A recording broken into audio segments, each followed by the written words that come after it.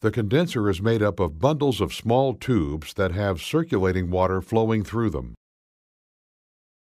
As the low pressure steam flows around the outside of the tubes, its heat is transferred to the cooling water inside the tubes, normally called circulating water.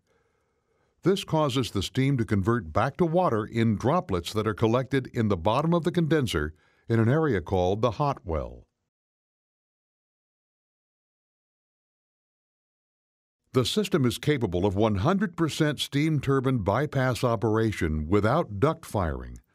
To accomplish this, steam that is created in both HRSGs is bypassed to the condenser.